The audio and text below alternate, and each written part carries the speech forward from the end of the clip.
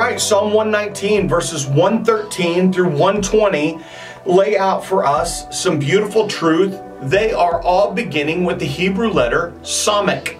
Samekh. And here's what it says I hate the double minded, but I love your law. You are my hiding place and my shield. I hope in your word.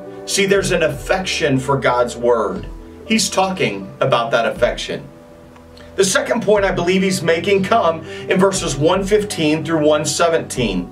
Depart from me, you evildoers, that I may keep the commandments of my God. Uphold me according to your promise, that I may live, and let me not be put to shame in my hope. Hold me up, that I may be safe and have regard for your statutes continually. There's a faithful focus on God's word. So he starts with this affection for God's word, and then he continues on with this faithful focus for God's word. Finally, the third point comes in verses 118 through 120, and here's what it says You spurn all who go astray from your statutes, for their cunning is in vain.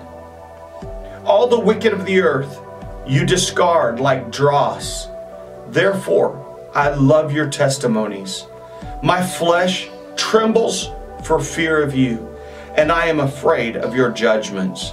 See, he recognizes that we will be accountable to God's word. So here are the three points that I believe he's trying to make today affection for God's word, faithful focus on God's word, and we're accountable to God's word. Live your accountability out.